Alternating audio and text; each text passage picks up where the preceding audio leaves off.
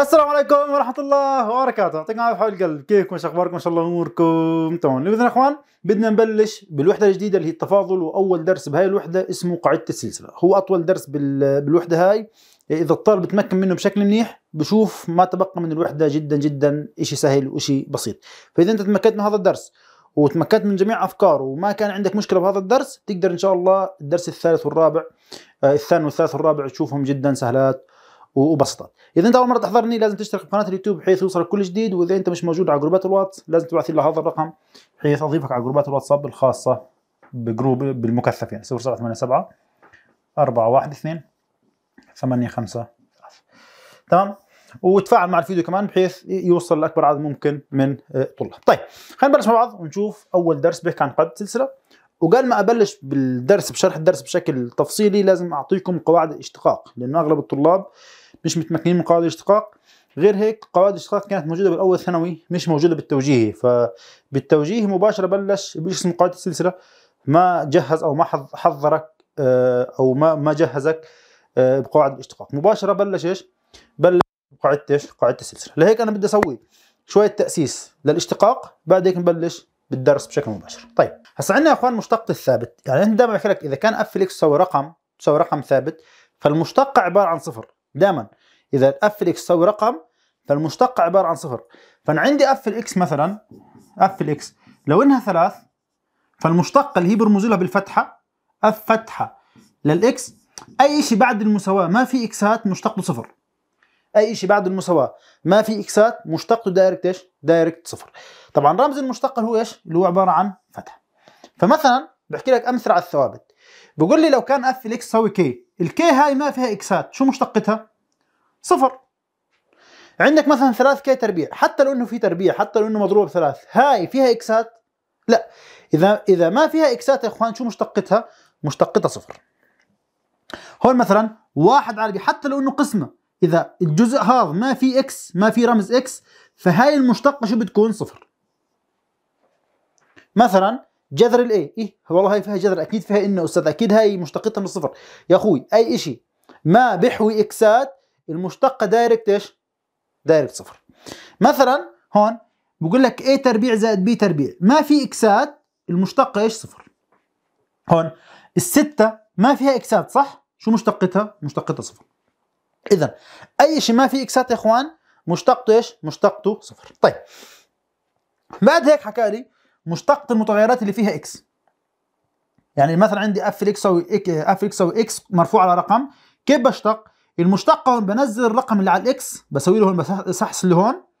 تمام؟ وبنقص من القوة واحد. كيف يعني أستاذي؟ هسه هون اف الاكس شو هي؟ إكس تكعيب. شو مشتقة الاكس تكعيب؟ اللي هي بتنزل الثلاث بتسحسلها جنب ال x وبتنقص من الثلاث واحد شو بتصير؟ اثنين.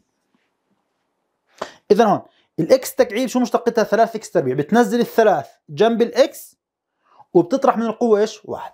مثلا هون اضرب لي الاثنين بالاثنين يعني هون ال x جنبها اثنين صح؟ فلما أنزل القوة بضربها بالاثنين اللي جنبها هون. فاثنين ضرب اثنين أربعة. x اطرح من القوة واحد. الاثنين لو طرحنا منها واحد يا إخوان بتصير واحد. طبعا بالرياضيات ما في ما في معنى للواحد لما تكون قوة يعني القوة تكون واحد هاي ما لها معنى أصلا. فهون شو الجواب 4 إيش؟ 4 x. تمام؟ طيب. حكى لي لو شفت مثلا هاي رقم ملزق بإكس رقم ملزق بإكس مثلا قال لك 8 إكس. مشتقته إيش؟ دائما ال x هاي اللي ما عليها قوة ملزقة برقم المشتقه بتنزل الرقم. السبعة إكس الرقم هذا ملزق بإكس صح؟ مشتقته بينزل الرقم اللي جنب الإكس على السريع. مثلا سالب إكس. شو شو الرقم اللي جنب ال x يا أخوان؟ سالب واحد. فالمشتق إيش؟ سالب واحد. هو مثلا خمسة ملزقة بال x. إذا شو المشتقة هون؟ خمسة. فدائما أي رقم ملزق مثلا قال لك b x. هي ال b ملزقة بال x. x عادية هيها ما عليها قوة. إذا شو المشتقة هون؟ تنزل ال b نفس ما هي. فعندنا إحنا إحنا عندنا هون الخمسة x شو مشتقتها؟ خمسة. طيب. بعد هيك السؤال الآخر. مثلا هون رقم ملزق بإكس. الاكس هي مرفوعه على قوة القوة هي بسحسلها بضربها بالواحد. أربعة ضرب واحد أربعة. تقسيم أربعة يعني هون أربعة دائما بنضرب بالبسط. أربعة ضرب واحد أربعة. تقسيم أربعة بروح مع بعض لأنهم بيشبهوا بعض. فلما نزلنا الأربعة وطيرناها بظل x مرفوع لإيش؟ الأربعة لو طرحنا منها واحد شو بتصير؟ ثلاث تمام؟ إذا نزلنا الأربعة ضربناها بالواحد. أربعة ضرب واحد أربعة. تقسيم أربعة طارت صفى عندي x مرفوع لإيش؟ لقوة ثلاث. طيب. هذا رقم الرقم هذا ملزق بإكسات صح؟ طيب. هون شو بسوي؟ بروح بنزل السبعة. جنب الرقم. فبصير سبعة. جذر الاثنين. اطرح من السبعة هاي واحد شو بصير؟ بصير ستة. إذا هون بتمسك السبعة بتنزلها جنب جذر الاثنين وبتطرح من القوة إيش؟ من القوة واحد. هون. هذا رقم k رقم. ملزقة ب x قوة خمسة صح؟ نزل الخمسة جنب ال k انت مالك دخل بالكي يا أخوي. الكي ثابت ثابت. أي شيء ما في اكسات فهو رقم ثابت. هسه هو مشتقته لحال يعني الكي لحالها إذا إذا لحالها هيك في جنبها اكسات مشتقتها صفر. لكن الكي أو الرقم الثابت ملزق باكسات ما بطلع على الكي بروح بنزل الرقم جنب الكي وبطرح من القوه واحد. تمام؟ فأنا عندي هون خمسة بنزلها جنب الكي بصير خمسة كي وبطرح من القوة شو بصير؟ بصير أربعة. طيب هون طلع كيف؟ هاي الثلاث. هذا كي. كي هذا رقم ثابت حتى لو إنها تربيع. في على إكس هون ثلاث صح؟ بنزل الثلاث هاي جنب الكي. فبصير ثلاث كي تربيع إكس. نقص من الإكس واحد شو بصير؟ اثنين. فدائما الثوابت شو ما كان شكلها يا إخوان؟ الثوابت شو ما كان شكلها؟ عليها كيت عليها تربيع عليها تكعيب شو ما كان شكلها؟ دائما إذا ملزقه بإكس بطقع لها بطقع للثابت ما لي دخل فيه تمام؟ وبشتغل فقط إيش؟ على الإشي المرفوع الإكس المرفوع لقوة تمام؟ يا رب تكون هاي الفكرة واضحة. السؤال بعده. هون مشتقة القوة السالبة. حكى لو انه لو إنه الإكس مرفوع لقوة سالب شو بسوي؟ عادي بنزل السالب جنب جنب الاكس يصير سالب 2 إكس وبطرح واحد من القوة. السالب 2 لما تطرح منها واحد بصير سالب ثلاث. مش مثل إيش؟ مش مثل المشتقه الموجبه لأنه مثلا إكس قوة ثلاث لأنه هذا رقم موجب. لما أشتقه تنزل الثلاث وبطرح من الثلاث واحد بصير اثنين. بس بحالة القوة السالبة لما أطرح واحد الرقم بتضاعف فبصير ناقص اثنين ناقص واحد شو بصير بصير ناقص ثلاث. إذا بتعرفش تحسبها؟ بتحسبها على الآلة الحاسبة بتقول له هون أنا سالب اثنين طرحت منها واحد بصير سالب إيش؟ سالب ثلاث. تمام؟ اذا هون إذا كانت القوة سالبة نزلها واطرح واحد من إيش؟ من القوة. طيب عندنا بعد هيك إكس قوة سالب خمسة نفس الشيء نزل السالب خمسة. اكتب الاكس مثل ما هي. واطرح من القوة واحد. الناقص خمسة لما نقص منها واحد على الاله الحاسبه تطلع ناقص إيش؟ ناقص. ست فدائما المشتقه نزل القوة إذا كان السالب مثلا نزلها واطرح واحد فايش لما أطرح واحد الرقم بيكبر يعني. طيب هون بتنزل السالب واحد جنب الإكس يصير سالب إكس. اطرح من الناقص واحد ناقص واحد بصير ناقص إيش؟ ناقص اثنين. طيب هون سالب أربعة صح؟ نزل السالب أربعة هون جنب الإكس. يصير سالب أربعة إكس. اطرح من السالب أربعة واحد بصير سالب إيش؟ سالب خمسة. فدائما القوة السالبة لما أنزلها وأطرح واحد من القوة بتزيد الرقم بيزيد بيكبر ما بقل. طيب هون. السالب ثلاث اضرب لها بالثلاث هاي. سالب ثلاث ضرب ثلاث. على الحاسبة بقول له ها بدناش نتعب مخنا يا أستاذ. سالب ثلاث ضرب ثلاث. تطلع تسعة سالب تسعة. تطلع هاي سالب تسعة إكس. اطرح من السالب ثلاث واحد يصير سالب أربعة. بس. هون. هذا رقم صح؟ ملزق هو ملزق بالإكس. الإكس هي مرفوع للسالب سبعة. نزل السالب سبعة جنب البي. تطلع سالب سبعة بي. إكس. اطرح من القوة واحد بصير سالب إيش؟ سالب ثمانية. تمام؟ يا رب تكون الأمور هاي واضحة وبسيطة بالنسبة لكم. طيب هون. عندنا سالب 6 والقوة سالب 2 اضرب. السالب 2 ضرب سالب 6 سالب مع سالب موجب 2 ضرب 6 12 إكس اطرح من السالب 2 1 بصير سالب إيش؟ سالب 3 إن شاء الله تكون الأمور حتى الآن بسيطة. حكى لي خلينا نفهمك شغلة حكى لما تشتق دائما بالاشتقاق يا إخوان رجعها لتحت تتحول موجب. يعني أنت دائما بالاشتقاق إذا اشتقيت قوة سالبة وكانت القوة سالب بس تخلص اشتقاق عشان دائما إحنا بالاشتقاق لازم يكون القوه موجب. فأنت لما تخلص عملية اشتقاق إذا لقيت القوة سالب بدك تخليها موجب. كيف؟ أول ما تشوف القوة سالب. الرقم اللي على الجنب بتنزله. هسا عندنا آه هاي ناقص 2 إكس قوة سالب 3 دائما القوة مستحيل يكون سالب بالاشتقاق يا إخوان. فشو بسوي؟ بروح بنزلها لتحت. كيف يعني؟ يعني هاي السالب 2 بحطها هون بحط خط. دائما القوة السالبه بنزلها تحت خليها موجب. تمام؟ اذا هون. السالب 2 نزلها هي السالب اللي على الجانب حطها فوق حط خط ونزل هاي لتحت بصير إيش؟ إكس قوة إيش؟ قوة 3 طيب هون الرقم اللي جنب الإكس سالب 5 فحط سالب 5 وهاي عشان تصير موجب نزلها لتحت واعكس إشارتها. سوي خط تحت الرقم وحط الرقم تحت واعكس إشارته. سهلة. هون شو الرقم اللي على الجانب سالب واحد؟ فتحط سالب واحد على إكس شيل من السالب اثنين آه، هون أنت بتنزلها لتحت فالسالب اثنين شو بصير بصير اثنين. هون. الرقم الجانب سالب أربعة. فتقول له سالب أربعة حط خط. هاي إكس قوة سالب خمسة. نزلها تحت الخط بتصير قوة موجب خمسة. السالب خمسة لما نزلها تحت الخط بصير إيش؟ بصير موجب. طيب هنا سالب تسعة صح؟ بتحط السالب تسعة تحط خط. هاي لأنها قوة سالب. نزلها لتحت وعكس اشارتها هون. هاي هذا رقم. بتنزله وبتحط خط وهاي تحت الخط خليها موجب فدائما إذا كان الجنب الرقم إكس مرفوع على سالب نزلها تحت الرقم واعكس إيش؟ واعكس اشارته مثلا هون هاي قول له 12 على هاي قوة سالب صح؟ نزلها تحت بتصير إيش؟ بتصير موجب اذا الأمور إيش؟ بسيطة وسهلة يعني طيب هسه نيجي لمشتقة القوة الكسرية يا إخوان، إذا مثلا الإكس مرفوع على قوة كسرية كيف بشتقها؟ عادي بتنزل الرقم تحط إكس بتطرح البسط من المقام. بتطرح البسط من المقام. دائما إحنا بالكسر يا إخوان بتحط الرقم الرقم هذا بتنزله جنب الاكس وبتطرح البسط من المقام. 7 ناقص 2 5 على المقام نفسه. بس. اذا 7 2 إكس قوة إيش؟ 5 على 2 هون نزل الأربعة على 3 جنب الاكس فبصير 4 على 3 إكس اطرح البسط من المقام. 4 ناقص 1 4 ناقص 3 1 على نفس المقام اللي هو 3 هون نزل النص هون. يصير 1 على 2 اكتب الاكس اطرح البسط من المقام على الآلة الحاسبة.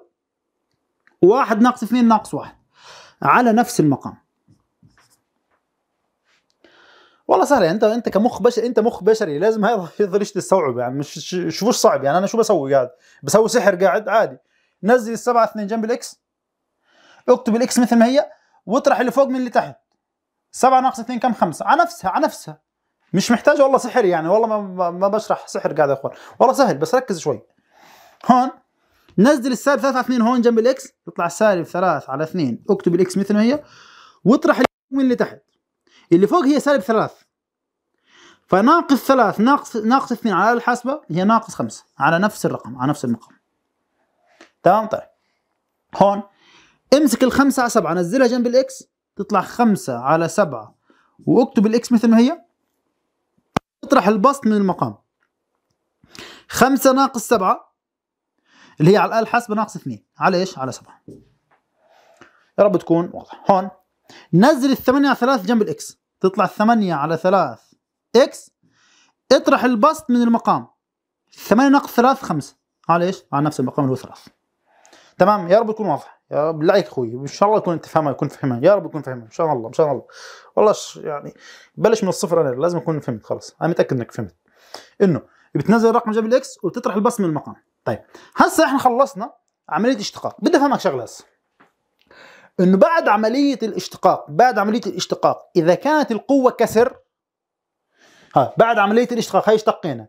بعد عملية الاشتقاق إذا كانت القوة كسر قيم الكسر وحط محله جذر فاضي. كيف يعني؟ يعني هاي حط مساواه حط 7 على 2 شايف الكسرة تقيمه وحط على الإكس جذر فاضي. الرقم اللي تحت الخط بتحطه برا والخمسة بتحطها جوا تمام؟ اللي تحت برا واللي فوق جوا بس خلصت هون مثلا قول له 4 على 3 الإكس فوقها كسر صح؟ بتحط الإكس عليها جذر وبتوقف شوي. الثلاث اللي تحت هون والواحد هون بس الواحد فيش لا تكتبها يعني لانها واحد. طيب هون نص. بس بدي أزيدك من الشعر بيت. إذا كان الإكس القوة تبعتها كسر سالب قيمها حط محلها جذر بس بالمقام يعني حط هون جذر هيك بالمقام. يعني هون إذا كان الكسر سالب سوي الجذر تحت تحت خط.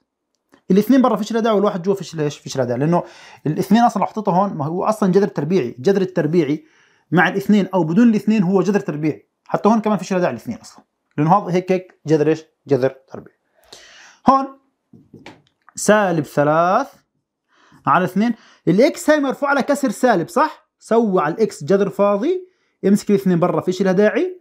والخمسة جوا. طب وين السالب يا أستاذ رحت ما إحنا يا أستاذ إحنا نزلنا هاي القطعة كلها تحت فالسالب بروح أصلا. تمام؟ فبسوي خط بحط جذر فاضي تحت الاثنين برا فيش لها داعي والخمسة إيش؟ والخمسة جوا. يا رب تكون امور بسيطة. السؤال بعده؟ هون. نفس الشيء. قول له خمسة على سبعة. هذا كسر سالب صح؟ نزله لتحت. تمام؟ وحط السبعة برا وحط الاثنين جوا بس الاثنين لها داعي لأنه هاي إكس تربيع تمام؟ اذا هون هاي كسر سالب. لأنه كسر سالب أستاذي دحشته لتحت مباشرة حطيت جذر فاضي اللي تحت برا واللي فوق إيش؟ واللي فوق جوا. يا رب تكون مفهومة. هون هذا كسر موجب مش راح نزله تحت أصلا. فبتظل 8 على 3 خلاص بتقيم الكسر تحط محله جذر. اللي تحت برا والخمسة إيش؟ والخمسة جوا تمام؟ يا رب تكون. اذا هاي هي مشتقة الجذور. هسه نيجي على آه كمان مرة مشتقة الجذور بس بشكل أقوى شوي. حكى لي لو بدي أشتق الجذر التكعيبي للإكس قوة 5 كيف ممكن أشتقه حسب القواعد اللي أخذناها فوق؟ إحنا يا إخوان بنقدرش نشتق الجذور. يعني ما في حالة بقدر أشتق الجذور إلا حالة وحيدة فقط بقدر أشتق الجذر التربيعي. بس هو الجذر الوحيد بقدر أشتقه بدون تجهيز. لكن أي جذر آخر بالاشتقاق لازم يصير يصير له عملية تجهيز بالأول. فأنا عندي هون عشان أشتق هاي. بقدرش اشتقها أشتقها وهو شكلها زي هيك. فأول شيء بجهزها. التجهيز ده يعني الاشتقاق يا إخوان. بجهزها يعني هي نفس اف نفس اف ما ما تغيرت. تمام؟ هاي بقسم الداخل على الخارج اللي هي 5 على 3 هاي شو؟ هون كان عندنا الجذر التكعيبي إكس قوة 5 لازم أجهزه بالأول. قسمت الداخل على الخارج. تمام؟ تمام. هسه بروح بشتق. بنزل الخمسة على ثلاث هون إكس خمسة ناقص ثلاث اثنين. على إيش؟ على ثلاث. حلو. الخطوة الأخيرة لما أخلص عملية اشتقاق لما أخلص عملية اشتقاق إذا شفت كسر ممنوع الكسر. بحوله لجذر يعني خلاص أنا خلصت اشتقيت اشتقيت وخلصت. برجعها مثل ما كانت اللي هي خمسة على ثلاث. بحط على الإكس جذر فاضي. الثلاث برا والاثنين إيش؟ والاثنين. جوا تمام. يا رب تكون. واضحه السؤال بعده هون نفس الشيء أول شيء جهزها. هي واحد على إيش على أربعة. بتنزل الواحد على أربعة جنب الإكس واطرح اللي فوق من اللي تحت. واحد ناقص أربعة ناقص ثلاث. على الحاسب على إيش؟ على أربعة. خلصنا اشتقاق رجعها. هاي لانها كسر سالب فبترجع لتحت يا إخواني يعني هون هيك هيك. الأربعة برا والثلاث إيش؟ والثلاث جوا الاكس تمام؟ يا رب تكون واضحة. هون نفس الشيء. الاثنين على السبعة بقول له إكس اثنين على سبعة. أنا هيك جهزتها. هسه كيف بشتق؟ بنزل الاثنين على سبعة هون بكتب إكس وبطرح اللي فوق من اللي تحت. اثنين ناقص سبعة ناقص خمسة. على إيش؟ على سبعة. اثنين ناقص سبعة ناقص خمسة على سبعة. هسه رجعها. تطلع. اثنين على سبعة ولأنه هاي كسر سالب حط على الإكس جذر فاضي بس تحت بالمقام السبعة برا والخمسة جوا. تمام؟ يا رب تكون واضحة. نفس الشيء إحنا حكينا الجذور ما بقدر أشتقها لازم أجهزها بالأول. نفس الشيء إذا كان عندي رقم مقسوم على إكس إذا كان عندي رقم مقسوم على إكس كمان هاي لازم أجهزها عشان أقدر أشتقها. إذا شفت رقم مقسوم على إكس طبعا لو قدام في مشتقة قسمة بس هون في شغلات تجهيزها أحسن من اشتقاقها كمشتقة قسمة. فهاي هاي إنه أول ما أشوف رقم مقسوم على إكس رقم مقسوم على إكس بجهز بالأول. وهون الطلاب طبعا بالتكامل ماخذ كثير التجهيز فأتوقع إنه التجهيز بالنسبة له ما ما في مشكلة. فكيف أجهز هاي؟ لازم ممنوع يكون الإكس تحت بالمقام تحت الخط. لازم أرفعها لفوق جنب الواحد. فبصير هاي واحد إكس هاي لما أرفعها من تحت لفوق بعكس إشارتها. هاي لما أرفعها من تحت لفوق بعكس إشارتها. هسه بشتق سالب 2 ضرب 1 هي سالب 2 إكس. اطرح من القوة واحد شو بصير؟ سالب إيش؟ سالب ثلاث اذا الاكس كانت تحت رفعتها لفوق عكست إيش؟ عكست اشارتها لما خلصت اشتقيت. سالب اثنين ضرب واحد سالب اثنين تمام؟ واطرح من القوة واحد شو بصير سالب إيش؟ سالب ثلاث هسه رجعها الرقم اللي جنب الاكس نزله حط هنا إكس طبعا إحنا إحنا خلصنا عمليه اشتقاق. ممنوع يكون عندك قوة سالب. خلصت اشتقاق رجع كل شيء مثل ما كان. فعندي هون رقم بس الرقم سالب. بنزله تحته بحول له موجب طيب ليش أستاذ ما حولته لجذر؟ لأنه هذا مش كسر أصلا. هذا يا إخوان مش كسر عشان يتحول لجذر. هذا رقم عادي. بس مشكلته إنه إشارته سالب. فنزلته لتحت. طيب هون نفس الشيء. ارفع حي لفوق. فبتطلع ثلاث. إكس. اعكس إشارة القوة. هسه اشتق. سالب 5 ضرب 3 سالب 15 إكس. اطرح من السالب 5 واحد بصير إيش؟ سالب 6 خلصنا اشتقاق متفقين على الاشتقاق هسه القوة سالب صح؟ حط السالب 15 اقسم إكس اعكس إشارة القوة شو بصير موجب؟ بصير 6 تمام؟ إذا هون شو سوينا؟ رفعنا هاي لفوق عكسنا إشارتها. هسه اشتقينا. بعد ما اشتقينا إذا كانت القوة سالب إيش بسوي فيها؟ بدحشها لتحت تصير موجب. طيب هون ارفعها لفوق جنب السبعة تطلع سبعة. هي كانت سالب صح؟ تحت؟ رفعتها لفوق تنعكس اشارتها بصير موجب. هسه اشتق ثلاث ضرب سبعة واحد وعشرين. إكس اطرح من القوة شو بصير اثنين. هون في داعي ننزلها تحت؟ لا. لأنه أصلا القوة موجب فيش فيها مشاكل أصلا. ما في كسر ما في القوة عادي موجب. إذا كانت القوة عادي موجب يا إخوان خلاص بتضلها مثل ما هي. ما بقرب لها شو بدي أسوي في أكثر من هيك يعني؟ طيب. نيجي لكمان سؤال. هون نفس الشيء. هاي أول شيء في عندي مشكلتين. إنه ال x تحت وغير إنه ال x تحت عليها جذر.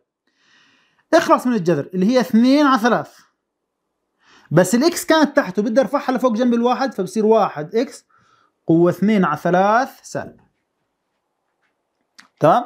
اذا هون 2 على 3 هي كانت تحت الخط طلعتها لفوق جنب الواحد وعكست إيش؟ عكست اشارتها هسا سالب 2 على 3 ضرب واحد اللي هي سالب 2 على 3 هنا إكس. يطرح اللي فوق من اللي تحت سالب 2 ناقص 3 أو ناقص 2 ناقص 3 كم؟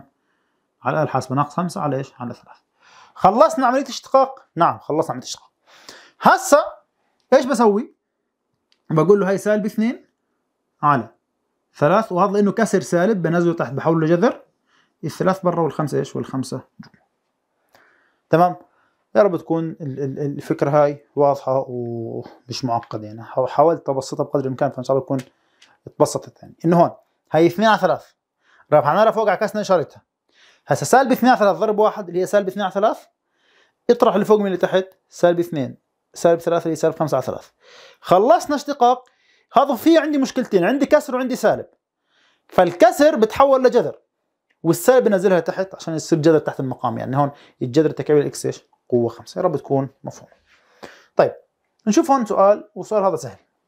حكى لي إذا كان f x أو x تكعيب ناقص 2 x زائد 1 جد f في المشتقة ال x هون يا إخوان بحالة المشتقة إذا كان عندك عدة حدود بينهم جمع وطرح اشتق كل واحد لحاله عادي. فهون طالب مني المشتقة بشتق شو مشتقة ال x تكعيب؟ 3 x تربيع. نزلنا الثلاث طرحنا واحد. الرقم اللي بيكون ملزق ب x مشتقته نزل الرقم. طيب الرقم اللي لحاله الرقم الثابت اللي لحاله مشتقه صفر. إحنا اخذناها هاي.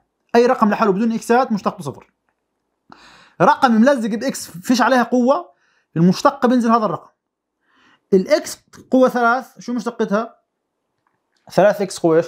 قوة اثنين. اذا شو الجواب الجواب B؟ تمام هو 3 x تربيع ناقص إيش؟ ناقص 2 السؤال اللي بعده.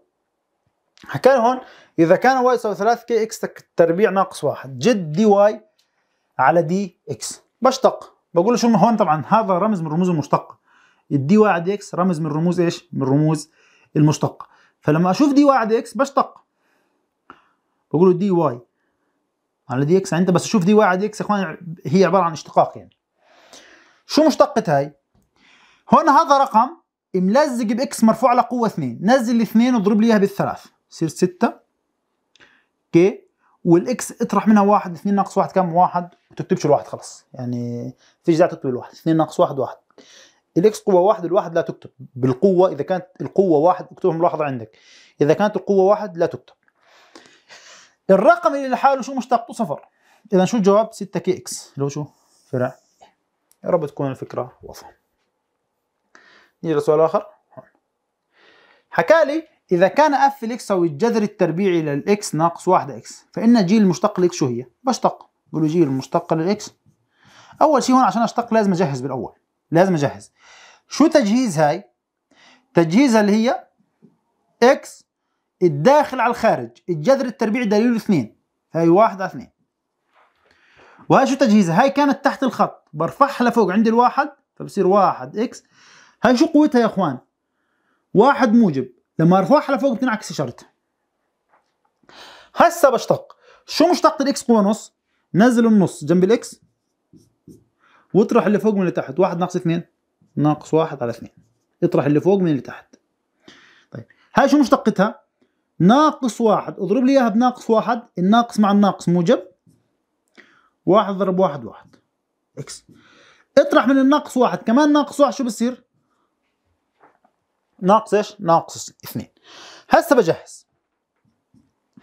هون عندي مشكلتين كسر وسالب. خلصنا اشتقاق. إذا كان في كسر وسالب بعد الاشتقاق بتحط الواحد هاي هون تسوي خط تحط الاثنين هون على الجنب هاي هون. وهذا لأنه كسر وسالب حط جذر فاضي تحت. الاثنين برا فيش لها داعي أصلا تكتبها والواحد جوا فيش لها داعي كمان تكتبها. اذا هاي واحد على اثنين الجذر التربيعي للاكس هون هون الواحد هاي هيها هون القوة سالبة فبتحشر لتحت بصير موجب بصير x قوة إيش؟ قوة اثنين. اذا هون السالب اثنين. نزلها تحت بصير x قوة إيش؟ قوة اذا شو الجواب؟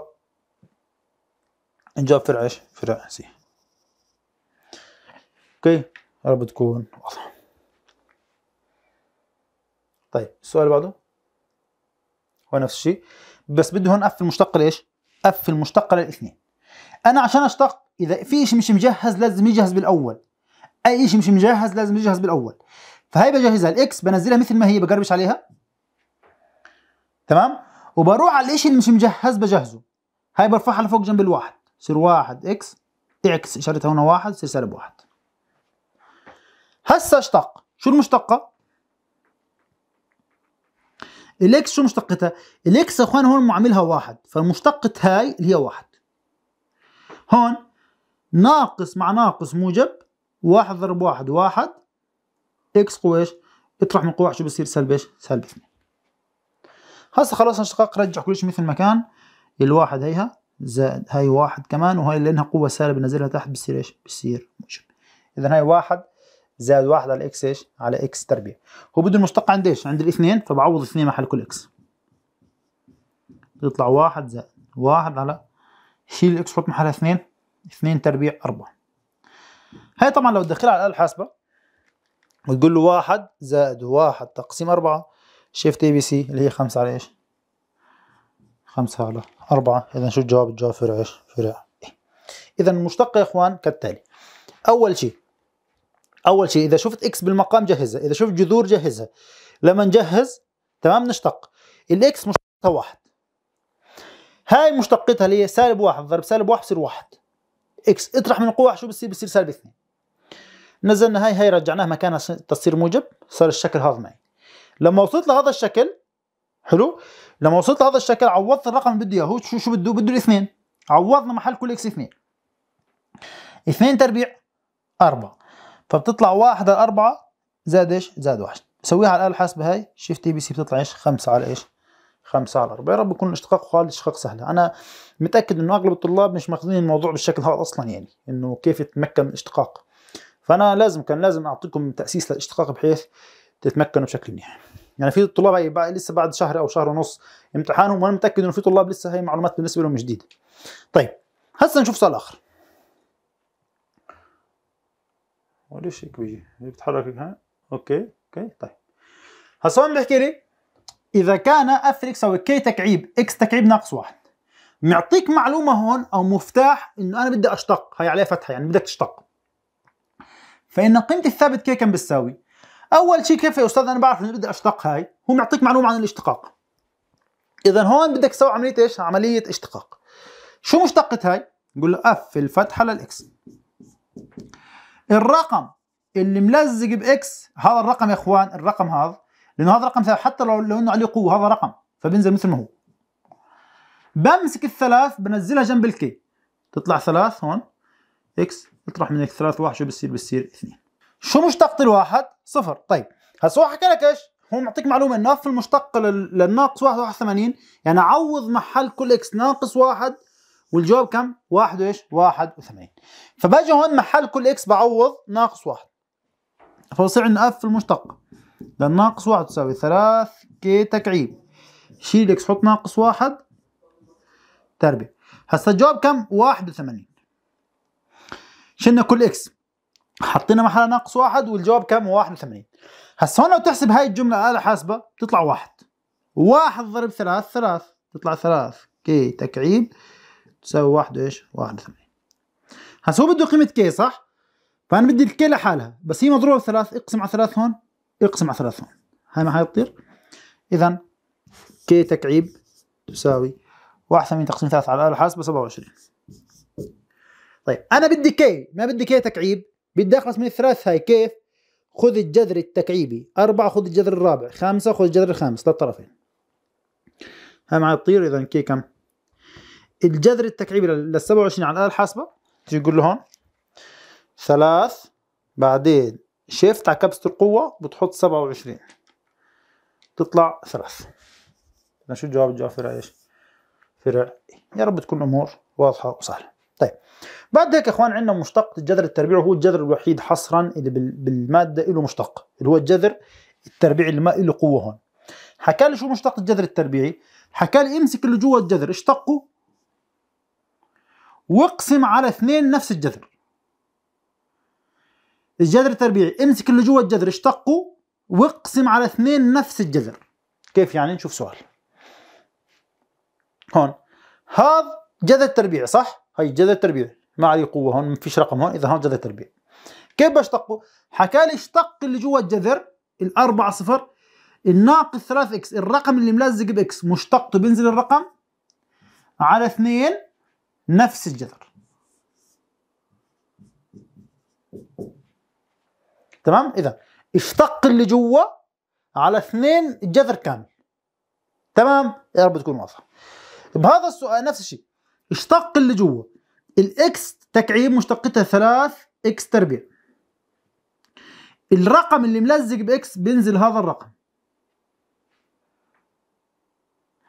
على اثنين نفس الجذر كامل هو الجذر التربيع لل x تكعيب زائد 4 إيش؟ 4 x تمام؟ اذا مشتقة ما داخل الجذر على اثنين نفس إيش؟ نفس الجذر. هون السبعة شو مشتقتها؟ صفر. الناقص x شو مشتقتها؟ ناقص واحد. على اثنين نفس الجذر اللي هو إيش؟ الجذر تبع للسبعة ناقص x طيب هنا هاي يا إخوان شو مشتقتها؟ هاي لحالها بدون الجذر هاي لحالها على جنب. شو مشتقتها؟ اثنين ضرب واحد اثنين. تقسيم اثنين راح مع بعض. أنت تنزل الاثنين اثنين ضرب واحد اثنين على اثنين x اطرح من الاثنين واحد بصير واحد. هسه الاثنين هاي بشطبها بالاثنين هاي بضل عندك إيش؟ إكس إكس قوة واحدة اللي هي نفس x شو مشتقة الجذر التربيعي؟ مشتقة ما داخل الجذر 16 صفر. الناقص x تربيع مشتقتها ناقص 2 x على 2 نفس الجذر. اذا مشتقة الجذر التربيعي مشتقة ما داخل الجذر على 2 نفس إيش؟ نفس الجذر. هسه هاي مشتقتها x لأنه نزلنا الاثنين ضربناه بواحد. صارت اثنين تقسيم اثنين طارت.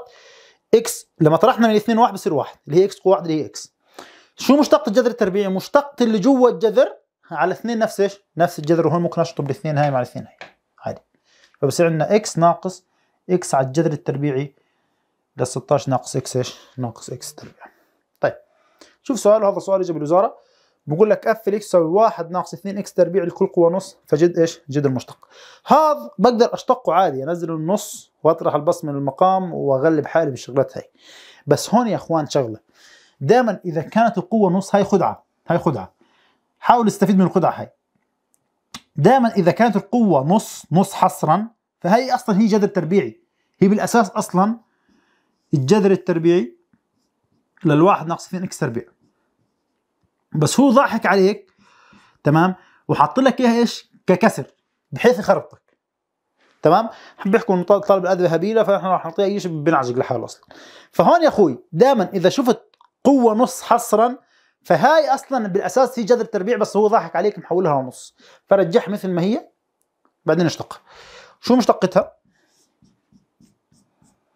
اللي هي مشتقة ما داخل الجذر الواحد صفر هاي مشتقتها اللي هي 2 ضرب 2 4 إكس تمام؟ اطرح من القوة واحد طبعا. على 2 نفس الجذر. اللي هي واحد ناقص 2 x تربيع. اذا شو الجواب؟ اللي هي ناقص 4 x على 2 الجذر التربيع لواحد ناقص x تربيع اللي هي أكيد مسوي لي تبسيطة. شيء هون ممكن تبسط. هاي 4 تقسيم 2 هاي بتروح بضل 2 فهي ناقص 2 x على الجذر التربيع للواحد ناقص 2 x تربيع. اذا هذا الجواب. تمام؟ يا رب تكون السؤال بعده. قال لي هون إذا كان f x هو الجذر التربيع للواحد زائد x تكعيب جد مشتق عند الاثنين. بشتق بعوض الاثنين. هذا جذر تربيعي. شو مشتقته؟ بشتق الداخل الواحد صفر ال x تكعيب مشتق 3 x تربيع. على اثنين نفس الجذر تماما ولا بتغير لي شيء هسه هو بده المشتق عند إيش؟ عند الاثنين. فبعوض الاثنين محل كل إكس. تطلع. اثنين تربيع أربعة ضرب ثلاث على الآلة الحاسبة 12 على اثنين تكعيب على الآلة الحاسبة 8 زائد واحد تسعة. الجذر التربيع للتسعة على الآلة الحاسبة 3 ضرب اثنين ستة. 12 تقسيم 6 كم يا إخوان؟ عبارة عن اثنين اذا شو الجواب؟ الجواب بي. تمام؟ يا رب تكون واضحة. طيب نيجي على السؤال بعده. حكى لي هون إذا كان f x هو الجذر التربيعي ل g لل x وكان معطيك g لل 4 g لل 2 4 و g مشتق للاثنين 8 جد f المشتق للاثنين يعني بدي أشتق بدي أشتق هاي القاعدة. هون حكى لك هي القاعدة اللي فيها اكسات هي القاعدة اللي بدي أشتقها يا إخوان. فحكى لك بدي f المشتق للاثنين بدي أشتق f اللي فيها اكسات فشو مشتقتها هاي؟ اللي هي.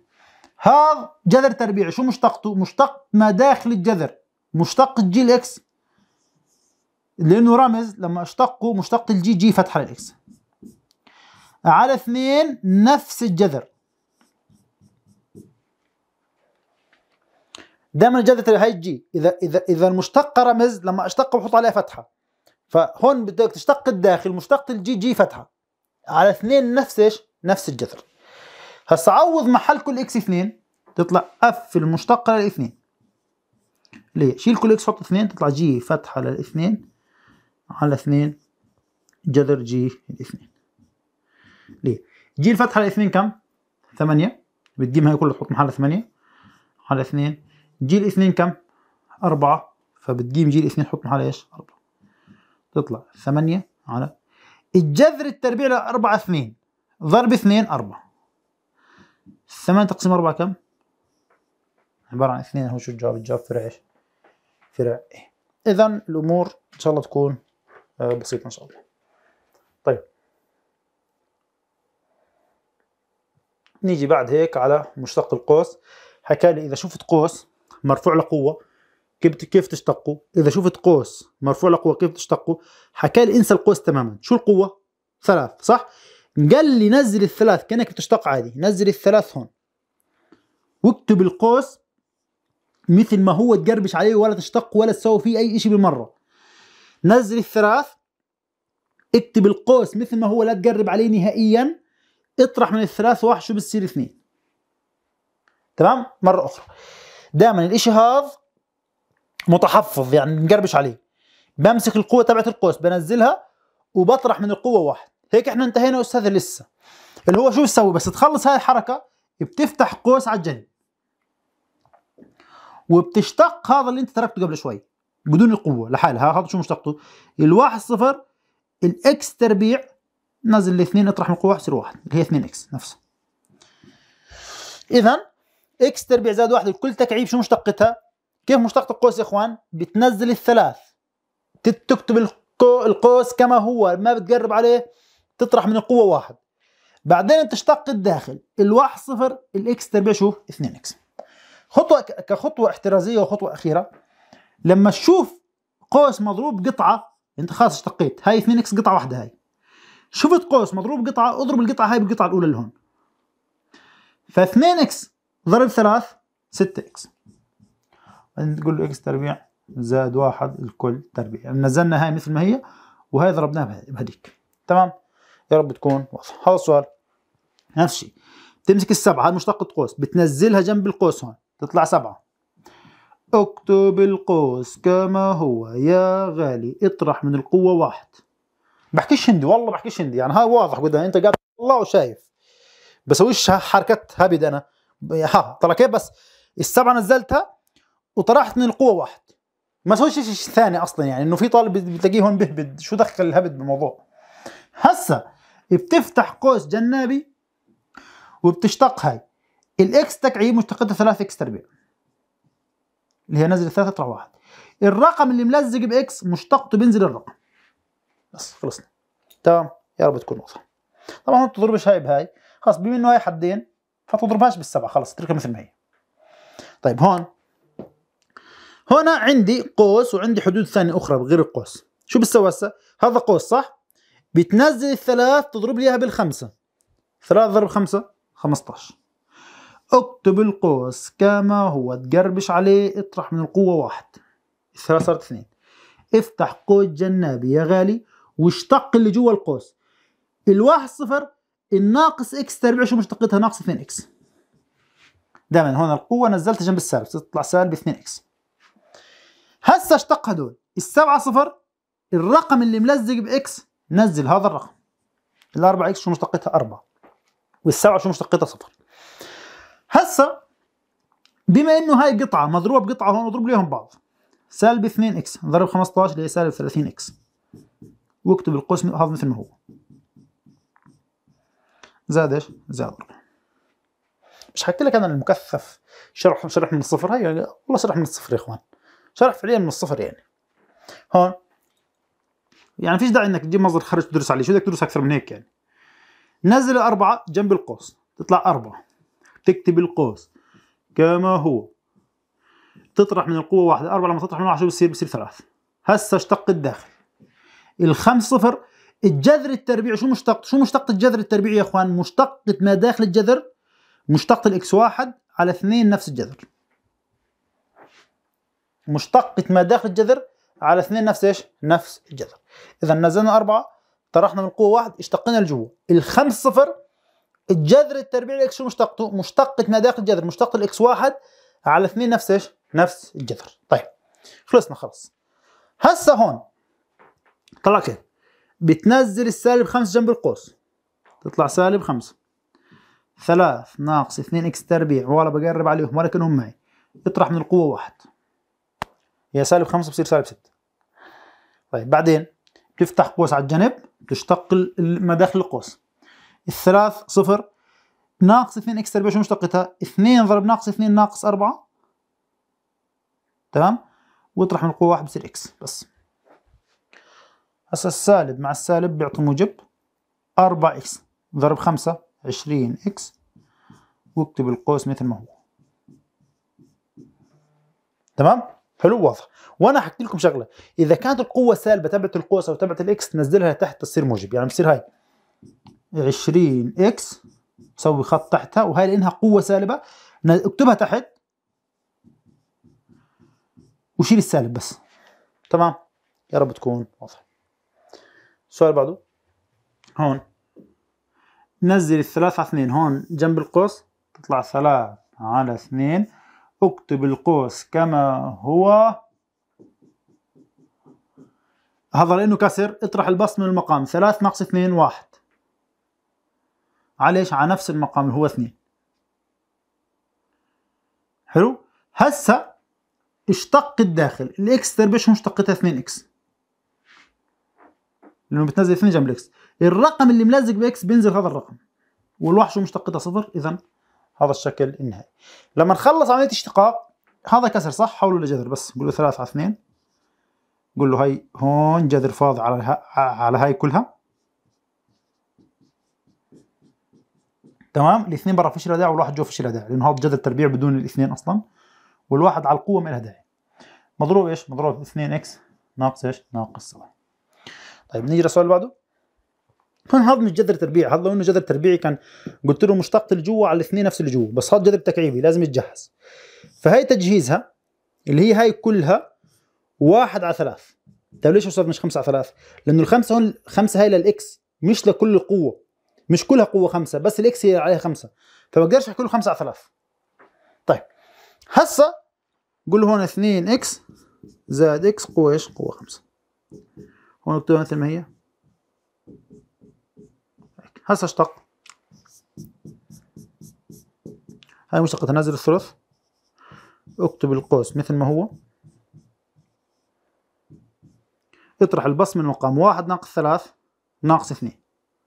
على إيش على المقام نفسه اللي ثلاث. اشتق الداخل الاثنين إكس مشتقتها اثنين. الاكس قوة خمسة شو مشتقتها؟ مشتقتها خمسة إكس قوة أربعة. إذا هون نزلنا ثلث طرحنا البسط من المقام. خلصنا على المقام. هسا اشتق الداخل. شو مشتقة هاي؟ اللي هي الاثنين إكس مشتقتها اثنين الاكس قوة خمسة اللي هي خمسة إكس قوة إيش؟ قوة أربعة. هسا هاي كمان مشتقة قوس. اللي هي مشتقتها. نزل الاثنين. جنب القوس. اكتب القوس كما هو. اطرح واحد. بصير هون الاثنين. لما نطرح منها واحد بصير إيش؟ واحد. بكتبهاش. هسا اشتق الداخل. ال 14 صفر الناقص إكس شو مشتقتها؟ ما لازم تشتق دير بالك هاي هاي خدها هاي خدها قوية قوية كثير الناقص إكس مشتقتها ناقص واحد اضرب ناقص واحد بدك ترتب آه هاي السالب اضربها بالاثنين بصير سالب اثنين هاي وهي بتروح من هون لأنه ضربناها سالب اثنين سالب واحد ضرب اثنين سالب اثنين وهاي لأنه فيش مجال بس تقدر تجهزها هاي تجهزها كيف؟ هذا كسر سالب صح؟ بتحط خط بتنزل تنزله تحت جذر فاضي زي هيك حط الثلاث برا وحط الاثنين جوا.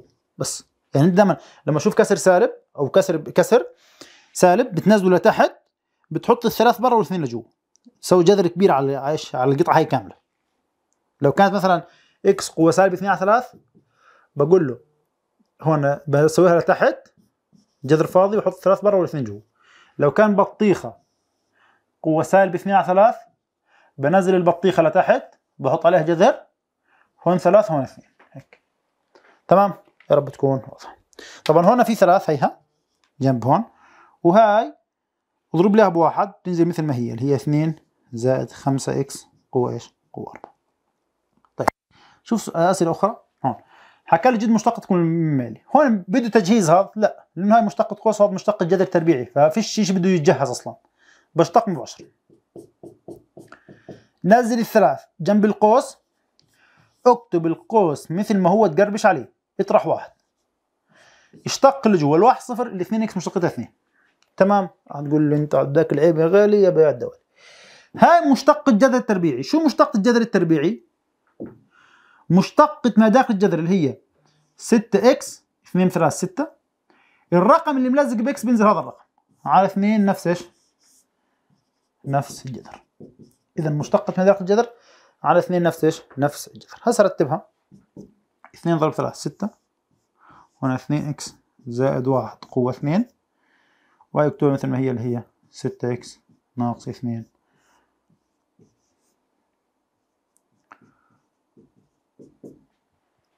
تمام. إن شاء الله تكون الأمور طيب السؤال بعده؟ هون. هذا جذر تكعيبي لازم يتجهز. فشو تجهيزه؟ اللي هو 2 إكس ناقص 1 اللي هي 1 على 3 ناقص إكس ناقص 3 قوة إيش؟ قوة 3 اشتق. نزل الثلث. اكتب القوس مثل ما هو. اطرح. 1 ناقص 3 ناقص 2 على إيش؟ على 3 هاي. نزل الثلاثة. جنب القوس. اكتب القوس مثل ما هو. اطرح واحد بصير اثنين. اشتق الداخل. الثلاث صفر. الاكس شو مشتقتها؟ مشتقتها واحد طيب. هسا خلاص اشتقاق صح؟ خلاص اشتقاق هسا رتبها. هاي شو بصير يا عزيزي؟ لأنه هون كسر سالب بنزل لتحت بقول له واحد على هي ثلاث هون وهذا كسر سالب. سويه جذر لتحت. حط الثلاث برا والاثنين جوا. تمام؟ لأنه كسر سالب نزل لتحت. بتحول لجذر. الثلاث برا والاثنين جوا. وهي خلاص فيش لها تجهيز أصلا لأنه هذا رقم مش سالب ومش كسر أصلا. طيب. يجي سؤال آخر. هون. هاي مشتقة تعديل هي يقول أف المشتقة للإكس. الجذر التربيعي شو مشتقته؟ مشتقة ما داخل الجذر على اثنين نفس الجذر. تمام؟ مشتقة الجذر التربيعي مشتقة ما داخل الجذر على اثنين نفس إيش؟ نفس الجذر. طيب. هون. بتضرب الثلاث بالاثنين ثلاث ضرب اثنين ستة. اكتب القوس كما هو تقربش عليه يا غالي. اطرح من القوة واحد. اشتق الداخل. الاكس تربيع مشتقة 2 إكس نزل الاثنين جنب الاكس الاكس هون شو شو معاملها؟ واحد. شو مشتقة الناقص إكس ناقص واحد؟ شو مشتقة الواحد؟ صفر. إذا هذا إيش؟ الناتج النهائي طيب. السؤال بعده. هون بده مشتقة بس أنا قلت لك. ممنوع أشتق وتحت الخط في اكسات لازم أجهز بالاول فهي برفعها لفوق هون.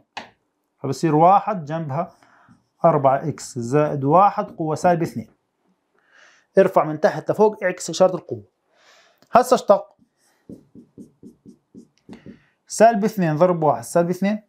اكتب القوس مثل ما هو. يا عزيزي اطرح من القوة واحد. ناقص اثنين. ناقص واحد. كم بصير ناقص إيش؟ ناقص ثلاث هسه اشتق الداخل الواحد صفر الأربعة إكس شو مشتقتها؟ أربعة. خلصنا اشتقاق؟ نعم خلصنا اشتقاق. هسه أربعة ضرب سالب اثنين سالب ثمانية. دائما البرة هون تضربه لهون. هاي لأنها قوة سالب بتسوي خط وبتحطها تحت وبتعكس إشارتها. وهون شو بتكتب اللي هي 4 إكس زائد 1 طيب أستاذ ليش ما حولناها لجذر يا أخوي؟ ما هي رقم مش جذر مش كسر. مش كسر عشان نحوله لجذر فهمت علي؟ هذا رقم. تمام؟ طيب. اذا هيك المواضيع إن شاء الله تكون واضحة. سهلة بسيطة. شو ضل عندنا ما ضلش عندنا كثير. أنا حاب أقسم الدرس هذا لحصتين.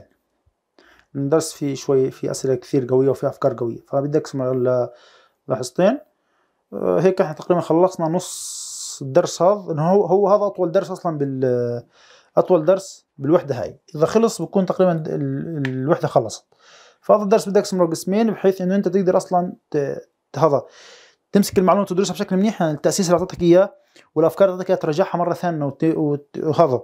وتحاول تفهمها بشكل منيح. وإذا عندك مثلا شيء مثلا مش فاهمه تسألنا عنه بحيث تثبت كل اللي قبل.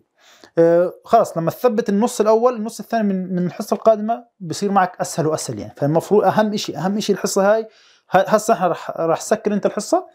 أهم شيء تروح مباشرة ترجعها وتثبتها. ثبتها النص الثاني من الحصة ما مش تحس بشيء صعب يعني. فهسه الأفضل بتوقف لهون. آه، ادرس هدول بشكل منيح. ثبتهم بشكل منيح انت شايف المكثف مغطي كل الأفكار. فيش فكرة مش مغطيها. تمام؟ يعني مش بس مكثف حل حل أسئلة ومشي يعني. فافهم اللي اعطاك إياه ثبته بشكل منيح. بعد هيك الحصة القادمة بصير أنت جاهز إنك تفوت إيش بالنص الثاني من هذا الدرس تمام؟ فبدي اقسم الدرس لحصتين 45 دقيقة و 45 دقيقة أو 50 ب 50 تمام؟ يعطيكم العافية نراكم إن شاء الله الحصة القادمة إذا أنت مش مشترك بالقناه لازم تشترك بالقناه وإذا أنت مش موجود على الجروب لازم تبعث لي هذا الرقم بحيث افوتك على جروب إيش؟ الواتساب وإذا أنت مش متفاعل مع الفيديو اتفاعل مع الفيديو عشان تكبر القناة يا زلمة. عيب عليك كذب ولا ما كنت أستغفر الله العظيم. طيب بدك تدعم استاذك يعني؟ يعني إيش في يا زلمة؟ إيش في؟ لا حول ولا قوة ليش معصب طيب أوكي.